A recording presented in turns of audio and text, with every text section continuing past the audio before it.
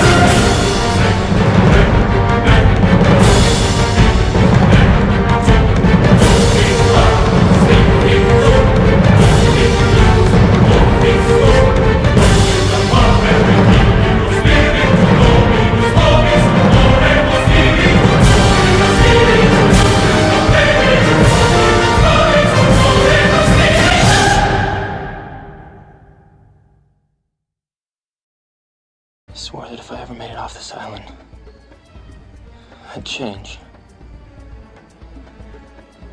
I wouldn't waste my life. It starts now.